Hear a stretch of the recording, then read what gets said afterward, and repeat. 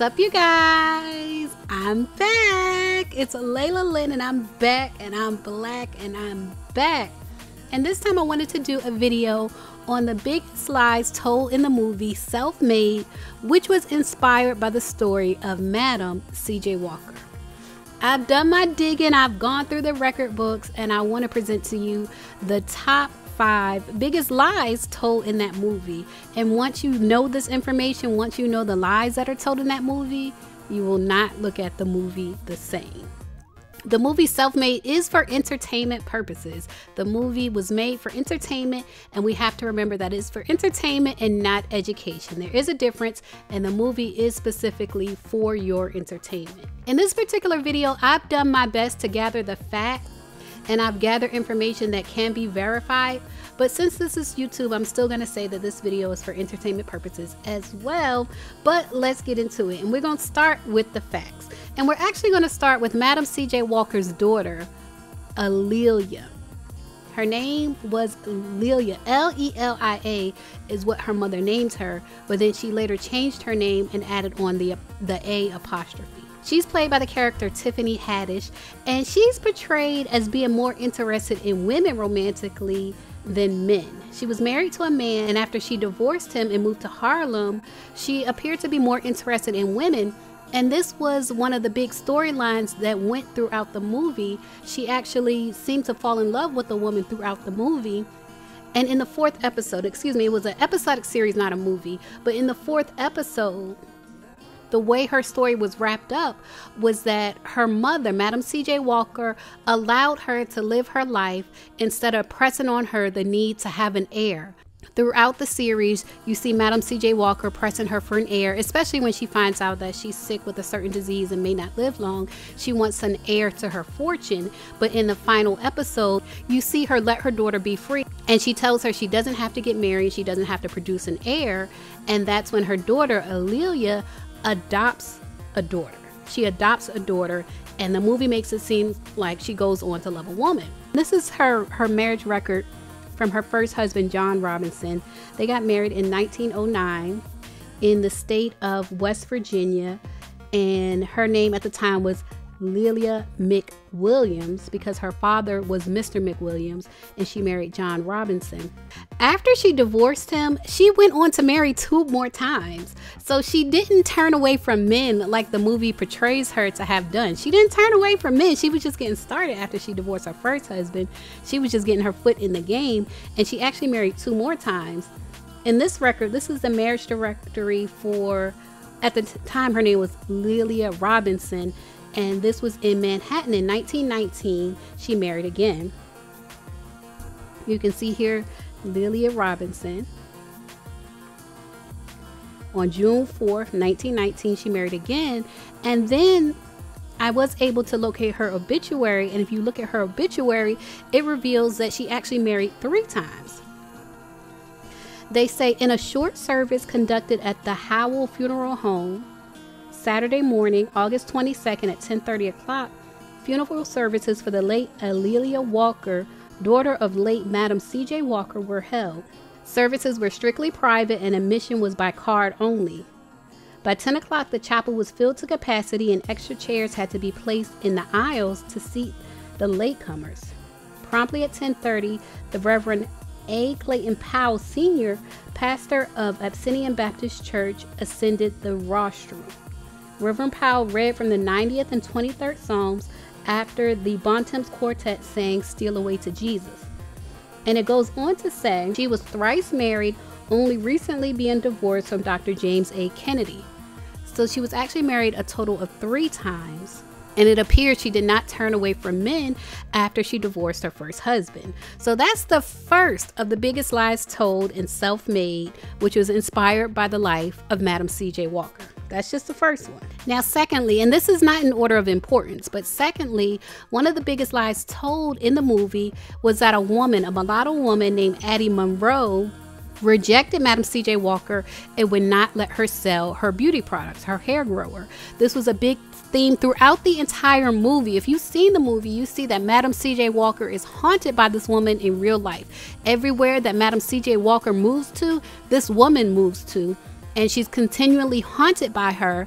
And the premise is that she wanted to be employed by this woman, this mulatto woman, but that this mulatto woman denied her because she was a dark skinned woman with African features. And when I say African features, I mean a full nose and wide lips and dark skin. That's just not true. That's not true. And if I was a relative of her real name is Annie Pope Turnbo Malone, if I was a relative of her, I would be upset by the way she was portrayed in this movie because she did not reject Madam CJ Walker from selling her products. She actually did hire her. She hired her. Despite what you see in the movie, that is completely fictitious. In real life, she did hire her. Addie Monroe, the character in the movie, is based on the real life Annie Pope Turnbo. She was born in the small town of Metropolis, Illinois in 1869. And like Madam C.J. Walker, she was born to formerly enslaved parents, and she was also orphaned at an early age and later raised by her older sisters. She attended school through the beginning of high school, but eventually stopped going due to some health issues. I was able to locate her real life information in the 1910 census, the federal census 1910 for St. Louis for St. Louis City, St. Louis Ward 17, District 0269. She's listed in this census. She's listed as Annie, first name Annie, middle initial M, and last name Pope Turnbo. And she's actually listed as the head of the household. And at this time in 1910, she was 30 years old and she lived with her brother. You see here, William R. Turnbo, that's her brother. The relationship is brother and both of them are mulatto. And as far as her employment, it says that she's a proprietor. That means she's a business owner, and that she has an, her industry is education. Her industry is school, and she's self-employed. She works on her own account. Now, what I want you to look at is the people who live with her. She has at least 10 boarders. All of these people, when you look at their relation to the head of household, they're all boarders. So she has all these people living with her as boarders. So she's a very industrious woman, is my point. Even before her hair industry took off, she ran a boarding house. She's always been an industrious woman from what I can see based on the facts. In 1900, at the age of 31, Annie moved to Lovejoy, Illinois, and started mixing and experimenting with different ingredients. And she soon developed her signature product, which she called the Wonderful Hair Grower.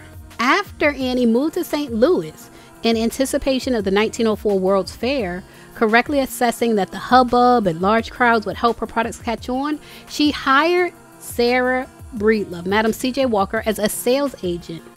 It's not clear how or when they met before working together. It depends on who you ask. But Annie said that she personally cured Madam C.J. Walker's scalp issues, and it does seem plausible that she may have been telling the truth. To grow her business, she often knocked on doors offering free scalp treatments. So it is possible that she did knock on the door of Madam C.J. Walker, Sarah Breedlove.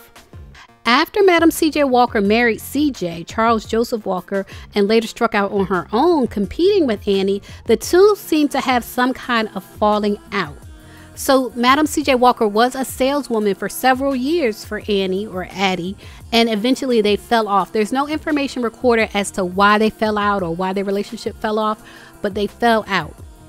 So the colorism that you see portrayed on the screen in Self-Made, the the battle, especially the very first episode is called like the Great Battle or the Fight for Her Life, and it has Madam C.J. Walker pitted against Annie Monroe. They have them pitted against each other in a boxing ring. This is a theme throughout the movie that she's fighting this light skinned mulatto woman. She's fighting her, and it's just not true. It's just not true. And the truth is stranger than fiction. And this movie may have been better if they had focused on the truth, in my opinion.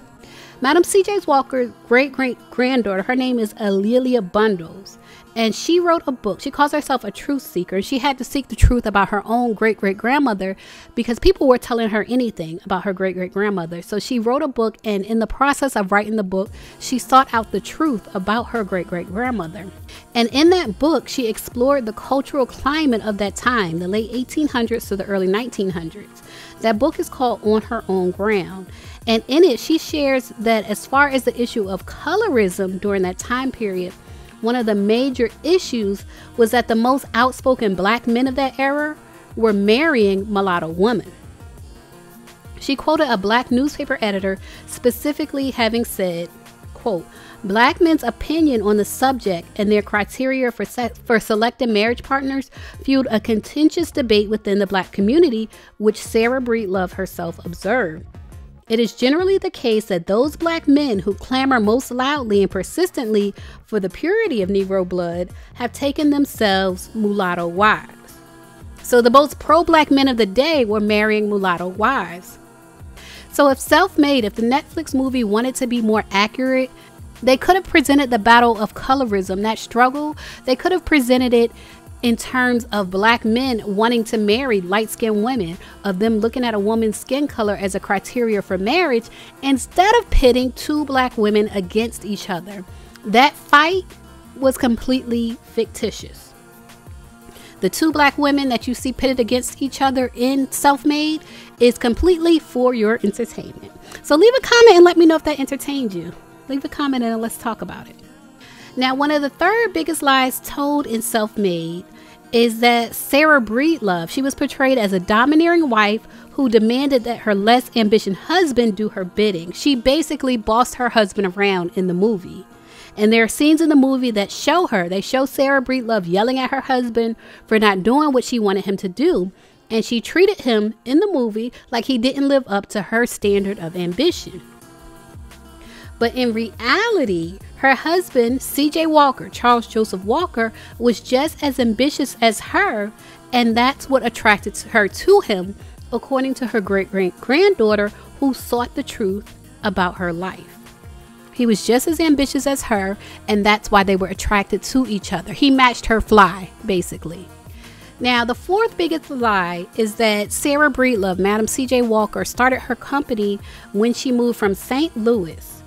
And it said that she moved from St. Louis to get away from Annie Monroe because she didn't want to be in the shadow of Annie Monroe, who had created the original hair grower product. She didn't want to be her in her shadow. That's how it's portrayed in the movie. But in reality, Sarah Breedlove actually moved to Denver. She moved to Denver, Colorado, and she saw an opportunity there. She moved there because she saw an opportunity to sell to the African American women there whose hair was adversely affected by the climate in Denver. And she also had a sister in law who lived there, so that made Denver a viable option for her. And CJ, her, her husband, did not accompany her, and neither did her daughter, who was 20 at the time. Neither of them went with her. Now, fifth, and I would say this is the biggest lie told in the series. The biggest lie told in the series comes in episode four, where Sarah Breedlove has a confrontation with Addie Monroe and she admits to stealing Addie Monroe's formula. That is completely untrue and that is fictitious. That is for your entertainment. That is not the truth. She did not steal Addie Monroe's formula from all factual accounts. The formula that both of them were using was one that had been in use since the 1700s. In the book, it specifically says, quote, the real secret was a regimen of regular shampoo, scalp massage, nutritious food, and an easily duplicated sulfur based formula that neither of them, neither Sarah Breedlove or Addie Monroe, had originated. Home remedies and medicinal compounds with similar ingredients had been prescribed at least since the 16th century. So, since the 1700s, this formula that was used in her original hair grower and Madam C.J. Walker's original hair grower had been in use not only by Eddie Monroe or Annie Pope Turnbo, but by other manufacturers since the 1700s. So, watching this movie, in my opinion, this is my personal review and opinion of the movie. I didn't appreciate Madam CJ Walker being portrayed as someone who was in the shadow of a mulatto woman who didn't allow her to work for her it's almost told in light of another woman. Like her story is presented. Madam C.J. Walker's story is presented in light and and with so much regard to Annie Monroe. And in the story, you even see where Madam C.J. Walker is haunted by mulatto women. You have to watch the series to understand where she has dreams where she's been being haunted by mulatto women. And in her real life, Annie Monroe is literally haunting her and following her, and that's just not true. She did not steal any products from Annie Monroe or Addie Turnbo or whatever you want to call her. She did not steal her products and she did not steal her formula. And she was not the domineering wife that the movie portrayed her to be. This was a fictitious movie, so all of that was done for your entertainment.